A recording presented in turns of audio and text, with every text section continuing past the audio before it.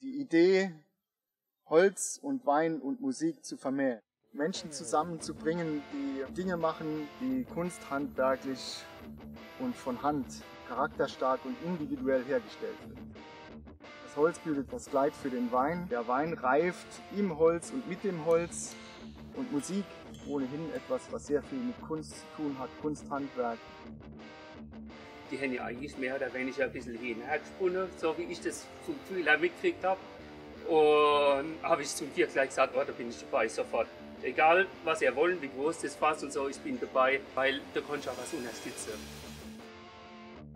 Da wir regional auch was für das Projekt nutzen wollen, haben wir natürlich die Pfälzer Eige bevorzugt. Wir haben ja beides aus dem selben Stamm, aus dem selben Baum gemacht. Mit dem Stefan Ackmann das Beste hat, wo sich sein Wein, äh, sein Forscher Peckstein wohlfühlen kann.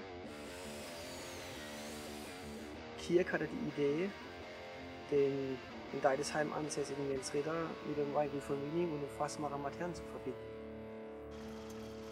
Dann habe ich gesagt, da bin ich sofort dabei. Also es war eine spontane Entscheidung innerhalb von einer Sekunde.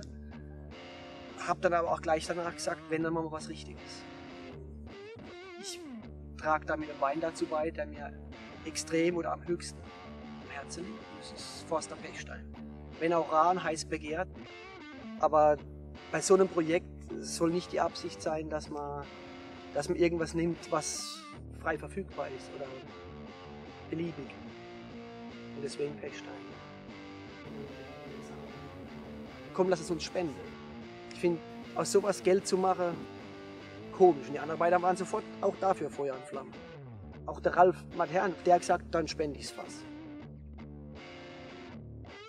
Das ganze Projekt basierte eigentlich darauf, dass wir das als Charity-Projekt starteten. Und wir wollten da jetzt kein Geld mit verdienen und die Gitarre wird ja versteigert. Der Wein wird verkauft für die Kinderkrebshilfe. Und es war von Anfang an klar, dass wir das für irgendeinen guten Zweck dann spenden wollen. Die Idee war am Ende bei der Gitarrenoberfläche die gleiche Haptik wie bei einem Weinfass zu haben. Also deswegen wurde die auch nur ganz fein lackiert.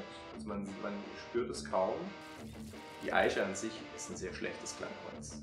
Die kann man, also findet man eigentlich nirgends im Instrumentenbau. Trotzdem war ich sehr überrascht, wie lebendig das Instrument klingt.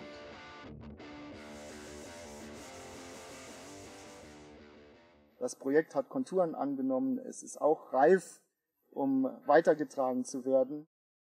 Bin froh, dass die Idee so gut aufgegriffen wurde, dass tatsächlich ein Konzept und am Ende auch Realität entstehen konnte.